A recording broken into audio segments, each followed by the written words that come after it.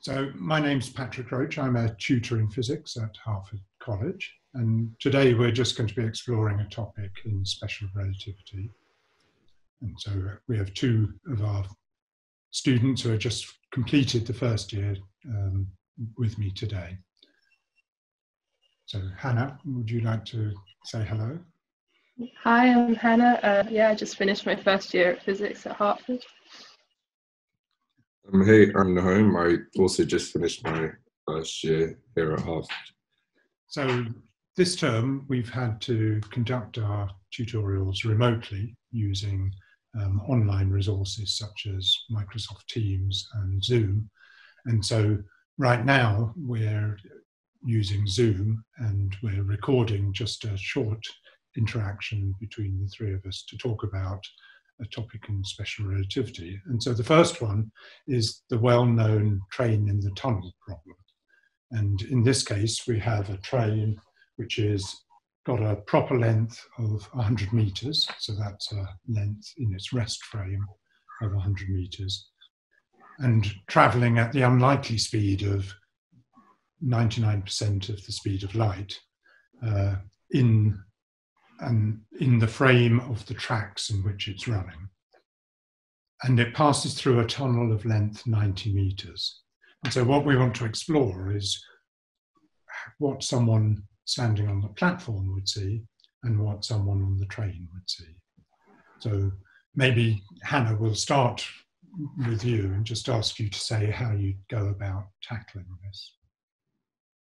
Yeah, so um, in special relativity, we have the Lorentz transformations, which talks about how um, objects traveling at different speeds, close to the speed of light, will experience different things so that um, length and time and simultaneity differ between frames. So I would choose a frame to kind of call my uh, rest frame for the train and then use these Lorentz uh, transformations and specifically Lorentz contraction to see how uh, to the train and to the um, person on the platform how the train would or the tunnel would appear to contract because of its speed. Yeah. So then, according to the person on the platform, the train contracts to about 14 meters, so it would appear to be in the tunnel. But within the train, the tunnel contracts, which then suggests that to the train it's not fully in the tunnel. Yeah. So, so that's the well known paradox of uh, the train in the tunnel problem. Uh, and the contraction comes from the, as you say, the uh, Lorentz transforms. And the contraction fa- factor itself is given by the um, the well-known gamma factor, which in this case is 7.1. Okay, so Nahom, as Hannah said, we have this paradox that uh, from one point of view the train can fit, and from the other it seems that it can't. So, so how would you try and explain that paradox? Um, so the issue would come into um, the whole part about the simultaneity of time and so, if you're measuring the length of the train as it passes through the train station, the stationary observer relative to the train tracks would actually measure the two different ends of the train at different times. And so, um, if you measure it just before it enters, and then measure the back of it just before, I mean, just before it leaves, then the length that you can measure would be consistent and show that it does fit the tunnel since you're measuring it at different times from your perspective. Yeah. Yeah, so, so that's the issue, isn't it? It's the fact that um, observers in different reference frames have different um, views of what the same time is. Yeah. And that's as a result of the finite speed of light. So, so that's one example of a paradox in special relativity, and of course there are many others. And uh, and you know, I hope that you found the course interesting and perhaps a bit perplexing in places. Yeah, it was very counterintuitive, but um, it was quite interesting to find out how all of these came from a few simple assumptions about the speed of light and reference frames. Yeah, yeah. Yeah, and very uh, to me, that's one of the astonishing things. Yeah. Einstein was able to revolutionize it by just doing these kind of thought experiments. Welcome to Hertford College. My name is Sid Parameswaran, and I'm a fellow and tutor in physics at Hertford. I'm also an associate professor in theoretical physics, where I lead a research group that focuses on the low temperature properties of quantum materials and their links to quantum computing and quantum information. At Hertford, I primarily tutor students on the second and third years of the course. My colleague Pat Roche has already given you an introduction to the first year of the course, where you build a basic understanding of classical mechanics and electromagnetism. I'm going to tell you a little bit about what happens in the second, third, and fourth years of the course. I'm going to do this using a virtual blackboard. This will give you a sense of how we've managed to have interactive tutorials despite being unable to meet in person due to social distancing. The second year is in many ways the core of the physics course and covers three main topics. The first of these is a continuation of your studies of electromagnetism.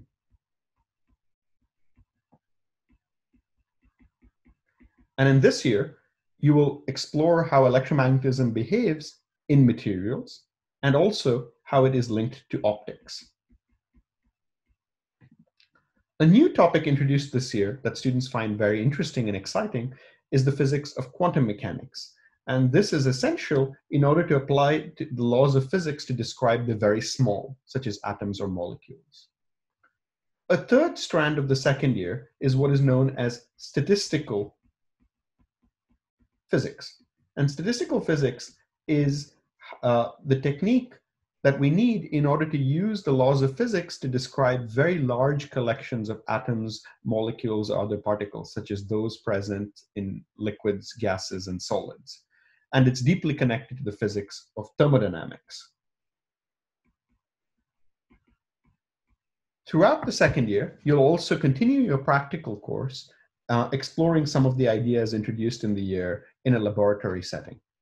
You'll also have to spend some time reading on a topic of uh, related to physics of your choice and give a short presentation on this to your classmates and tutors.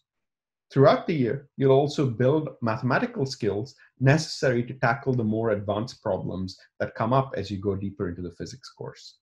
And of course, there will be an array of short options for you to choose from in order to explore the subject further. At the end of the second year, you'll have a pretty solid foundation in which to explore the wide range of physics that you'll see in the third year.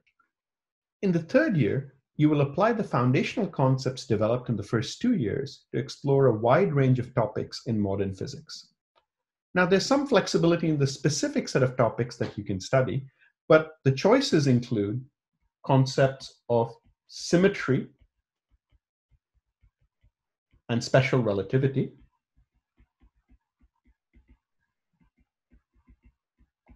In fact, you'd have already seen some special relativity earlier in the course. Another choice is to study condensed matter. And this is large collections of atoms, electrons, molecules, and so on that appear, for instance, in solids and liquids. And one of the things you learn in this course is how physics can allow us to explain why some systems are metals, some systems are insulators, and why some materials are semiconductors. You'll also learn more about what happens at the subatomic scale in nuclear and particle physics. And this will involve uh, making connections to experiments such as those done at the Large Hadron Collider in CERN. You'll also have a chance to explore fluid mechanics and the physics fluids. You'll be able to learn a little bit about uh, atomic and laser physics. And if you're, uh, for those of you who enjoyed relativity, there'll be a chance to go further and explore Einstein's general theory of relativity, which is the techniques that you need to describe gravity properly and to understand things like black holes and cosmology. Another option that is increasingly popular is that students can replace some of these with a computational or an experimental project, which goes beyond the standard lab courses. Of course, you'll have some short options this year, as well as um, the standard practical course. And as part of the practical course, you will pick one of the labs and go deeper into it and write it up in a more formal lab report that is known as a mini project. At the end of this year, you will have explored a large range of topics in physics and have some sense of what kind of choices you'd like in, uh, in order like to make in order to specialize into the fourth year. The fourth year of the course is a point at which you specialize your study of physics into one of the major areas of modern physics. This is taught primarily in the department, and your tutorials will be with other students from other colleges that are taking the same options um, as you are. Despite this, your tutors will of course be available for advice and career guidance. Students who are going on in the MPhys track will choose two major options from a set that represent the different research areas in the department. These include astrophysics, condensed matter, lasers, and quantum information, biophysics, particle physics, atmospheric and oceanic physics, with links to climate science, and my own specialty, theoretical physics. Some of the more mathematically minded students switch to the fourth, uh, fourth year course known as the Masters in Mathematical and Theoretical Physics, or MMath Phys. And this is a course that's taught jointly with the Maths Institute and allows students to take a flexible array of courses spread across both departments. At the end of your four years, you will have built a very strong technical background in physics that's excellent preparation for further study in the field or related fields through a doctoral program or other means. You'd have also developed extremely strong quantitative and problem solving skills that are applicable to a wide range of careers. I should say a little bit about the environment at Hertford, which is friendly and supportive. We have a wide range of expertise both in long term tutorial staff and among the tutors who cover specialized topics across all areas of physics. All of us are research active, and our tutorials often borrow insights from the forefront of modern research and bring it to bear on the problems that you're discussing in the course. Our students are a particularly tight knit group, and they organize termly dinners and participate in various extra activities. For example, several students joined me in an extracurricular reading project on quantum information last year. Our students often do research in the summer, sometimes supported by college bursaries, and many have gone on to further study for their DPhils, as well as successful careers outside of academia in a wide variety of fields. I hope this has been a useful look into the physics course and into physics at Hertford, and I do hope that you will apply to join us next year.